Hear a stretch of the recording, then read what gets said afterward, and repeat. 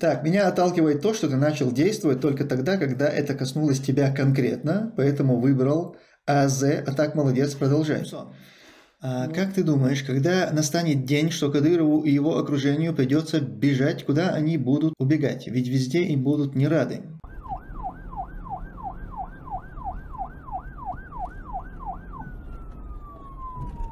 Что думаешь про очередной конфликт Турции с курдами? Имеют право курды на независимое государство? Вообще не в курсе, я не знаю, что там за конфликт у них очередной.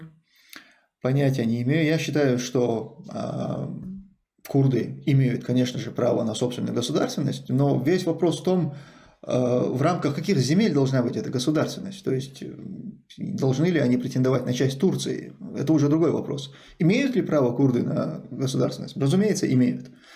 Но вот э, должны ли им предоставить именно вот ту территорию, которую они хотят, на которую они претендуют, э, заявляя, что она там их какая-то исконная, то нет, здесь я, конечно же, не рискну на эту тему рассуждать. Я знаю, что они э, проживают и на территории Турции, и на территории Сирии, и на территории Ирака. На территории Ирака у них даже есть свой собственный, э, своя автономия.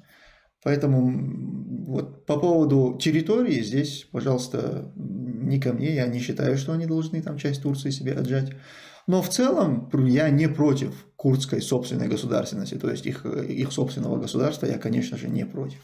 Тумсо, почему ты тогда против, чтобы абхазы имели свое государство? Все народы имеют право на самоопределение. Абсолютно ты прав. Я не против, чтобы ни абхазы, ни осетины, ни никто бы то не был, чтобы они имели собственную государственность. Я вообще не против. Вопрос лишь в том, в каких границах они собираются. Если ты хочешь иметь свое государство, отжав территорию другого государства, то нет. Понимаете? Вот в чем вопрос.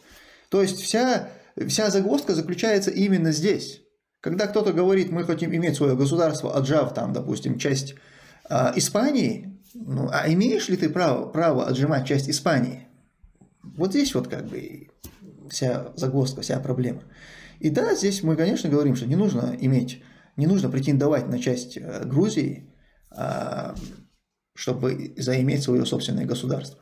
Ни, ни абхазам, ни осетинам тем более. Давайте, для осетин это вообще, осетины это, а, они ровно такие же а, кавказские автохтоны, и они должны ровно так же, как и мы, жаждать этой независимости. Но есть, понимаете, своя территория у осетин, они не должны претендовать на территорию Грузии. Вот в чем проблема. По чьей инициативе Грозный был переименован Джахар? Был референдум какой-то? Парламент? У нас для этого был свой законодательный орган. Это были избранники народа, которые э, это решение принимали.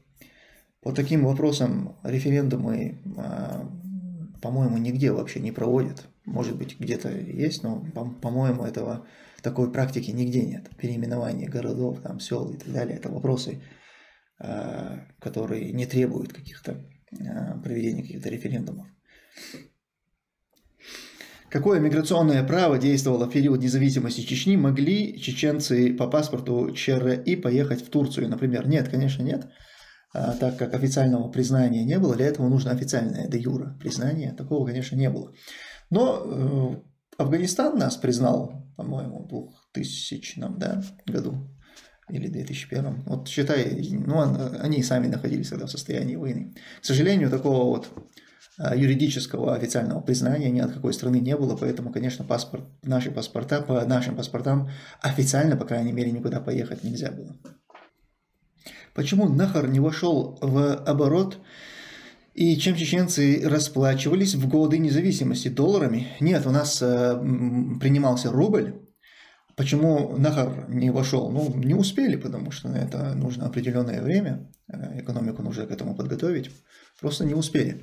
Мы-то на самом деле их только напечатать, по-моему, и успели даже их привести в республику. Эти Нахары не успели, ну, кроме каких-то образцов.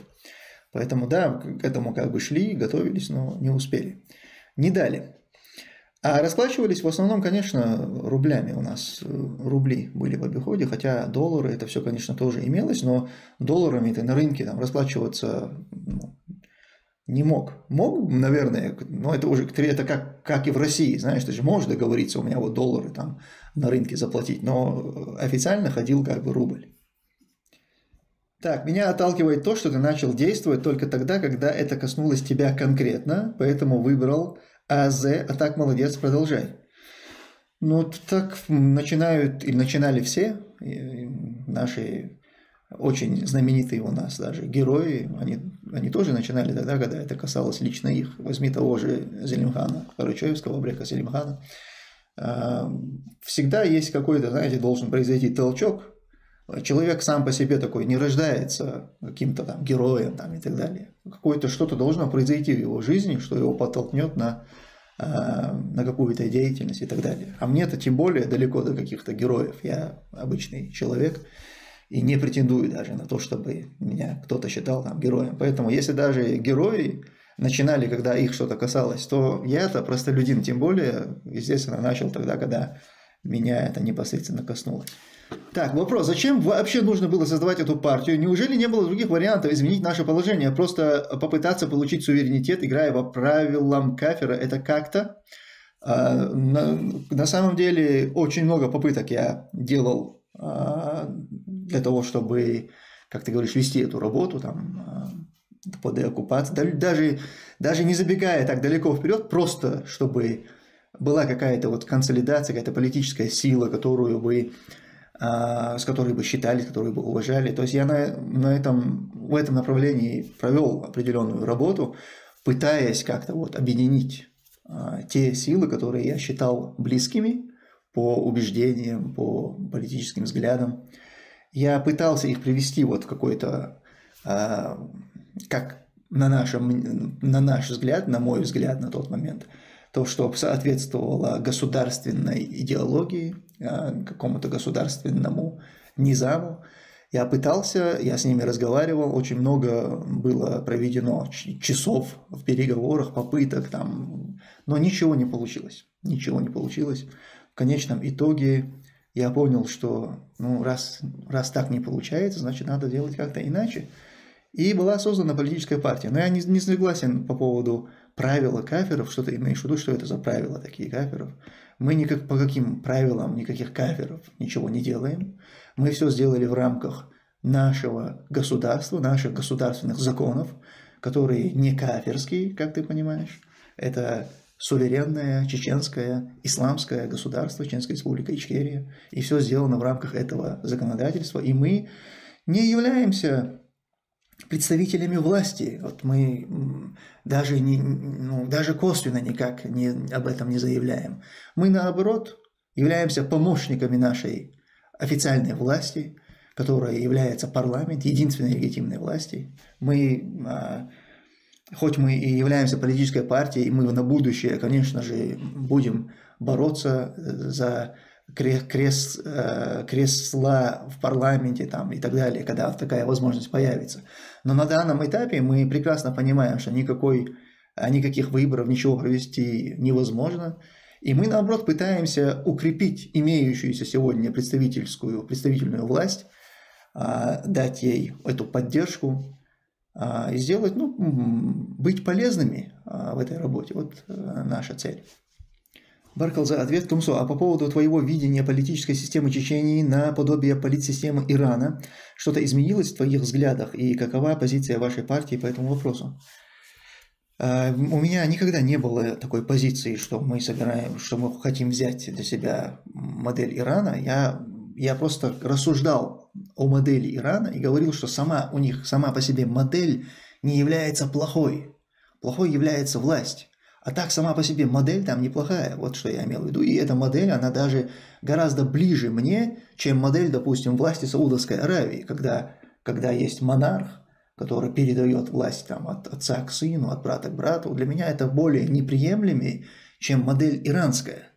Но зато сама иранская э, власть, она, конечно же, мне гораздо дальше, чем саудовская, понимаете? То есть это мы просто рассуждаем на эти темы, но это не значит, что мы хотим что-то из этого себе. Да нет, конечно. И наша позиция партии, наша позиция партии – это на нашей государственной системе. Мы не являемся революционерами. Мы, можем, может быть, мы в какой-то степени были бы реформаторами, а, если бы была такая возможность уже конкретно работать э, в рамках государства. То есть как какие-то вещи менять, да. Но в данной ситуации мы не реформаторы, в данной ситуации мы просто, скорее, мы такие консерваторы, которые а, просто в рамках действующего нашего законодательства а, пытаемся работать. Законодательство, я имею в виду, нашего государства, Чеченской Республики Ичкерия. Ты помнишь годы независимости, какое время это было для тебя? Конечно, помню. Сложное было время, безусловно, очень сложное было время а, в экономическом плане. Но свободное. Я ностальгирую по этому времени, несмотря на все эти сложности, на, на очень многие минусы. Но это, это свободное время, на по-настоящему свободное время, которое, конечно же, я бы хотел вернуть. Ассаламу алейкум, Тумсо, ты уже политик, табарак Аллах, когда повесишь наш флаг? Ва алейкум ассаляму, раматуллах баракату. А, брат Мелхе, я не знаю, я, честно говоря, не планирую пока этого делать. А, я не вижу в этом смысла, но может быть что-то подобное и будет. Валлаху Не знаю, брат. Закаевец, мы тебе дали 5 минут. Если ты уже закончил, то давай по доброй воле выключай эфир и заканчивай. Чувак с большим животом. Ладно, по доброй воле. Буду заканчивать тогда. Только можно минут... Дайте мне, пожалуйста, еще минут 35. Не имея сплочения, мы никогда не добьемся деоккупации. Ты прав, но сплочение вокруг чего? Вот что важно. Имея сплочение вокруг а, неправильной идеи, неправильных людей, даже если мы добьемся этой деоккупации, а нужна ли она? Задайтесь вот этим вопросом. То есть, что, для чего тебе нужна эта деоккупация? Для чего тебе нужна свобода? Каждый человек должен, прежде всего, вот этот вопрос себе задать. Свобода ради свободы? Ну, если так, то если, если те, кто на этот вопрос так отвечает, мне нужна свобода ради свободы, то вперед объединяйтесь там с кем угодно. Может быть, может быть вам будет даже дана вот эта свобода ради свободы, но очень быстро вы, побежите от этой свободы. И если мы с вами сейчас бежим от несвободы, и приезжая в эти страны, мы с вами просим убежища от российской власти, от российского преследования, то тогда вы будете бежать и просить убежища от свободы, которую вы так хотели. Понимаете? То есть вот я четко, точно отвечаю на этот вопрос, что мне не нужна свобода ради свободы. Мне нужна свобода ради справедливости. Мне нужна справедливая э, страна. И если там этого нет, а этого быть не может с людьми, которые в своей основе несправедливы, которые, не имея ничего, никакой власти, не являются справедливыми, а имея власть, они тем более не будут справедливыми, объединиться вокруг такой идеи, таких людей – это навлечь на себя гнев Аллаха. И даже если будет успех у такой группы, это не будет группа, которой доволен Аллах, это не будет тот э, режим, которым доволен Аллах. Поэтому, ну, нужно, нужно ли мне это? Нет, мне это не нужно. Тумсон, на сайте Кавказ-центр недавно появилась статья Мавлади Удугова «Шариат в рамках демократии, легитимность и государства двух ущелий». А, если читал, то есть ли какие-то мысли по этому поводу? Нет, я не читал, а, Маркович Виктор. Я видел очень много комментариев к, этому, к этой статье, а, возмущенных. То есть люди, людям очень не понравилось многим то, что написал Маулади Удугов. Но вот э, посмотреть, что он написал, честно говоря, как-то руки не дошли, времени не было, поэтому я не читал. Но я уже как-то привык к тому, что что бы ни делал Маулади Удугов, это никогда, конечно же, не нравится. Поэтому комментарии этих людей меня не удивили. Э, ну и вообще в целом у Маулади Удугова с давних пор есть свое видение и государства, и даже границ этого государства. Поэтому э, в этом плане я тоже, конечно же, не сторонник э, Удугова. Но если кто-то свое видение заявляет. Ну, также это видение может заявить и Мавлади Удугов, и любой другой. Главное, чтобы эти взгляды, эти идеи, они не были какими-то экстремистскими, там, террористическими и так далее. В остальном проблем я не вижу. Если в рамках как бы, цивилизованного общества, нормального цивилизованного политического э, диалога, если об этом спорить, то это нормально. Христиане или иудеи в шариатском государстве обязаны платить дополнительный налог на проживание. Сегодня мир устроен таким образом, что любое государство, оно не может вообще существовать без налогообложения. Поэтому в современных реалиях, я думаю, нет такого, что христиане платят, а мусульмане не платят. Все будут э, платить налоги, все должны платить в этих странах, где мы проживаем, мы все платим налоги. Так экономическая модель мировая а, построена, что без, э, налогов, без налогообложения просто государство не может успешно существовать. Поэтому ну, не актуально сейчас даже на, на эти темы рассуждать.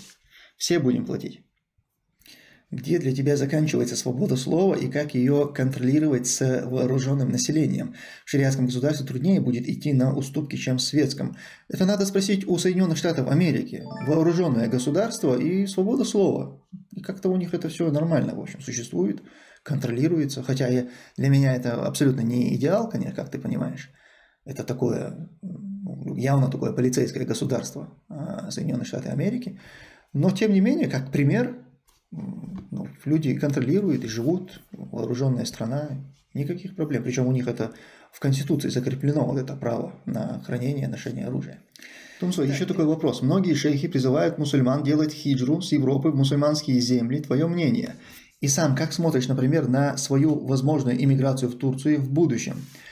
А, к сожалению, вот те шейхи, которые делают эти призывы, я не знаю, правда, не слышал, а, ну, допускаю, что это, возможно, это уважаемые хорошие люди, но они, по всей видимости, не разбираются в происходящем в этом мире, и они не знают, что в этих странах, о которых они говорят, никто а, не жалует нас, абсолютно нас там никто не ждет, а, и большинство а, мухаджиров, которые попадают в эти страны, они вынуждены бывают потом либо в их депортационных тюрьмах сидеть а, без возможности на какую-то легализацию, либо годами там нелегально где-то скитаться. То есть, к сожалению, эти исламские э, так называемые страны, они, э, они, они оставляют желать лучшего. Отношение этих стран к мусульманам и проблем, э, проблемам мусульман в этом мире, они абсолютно не заслуживающие какого-то уважения.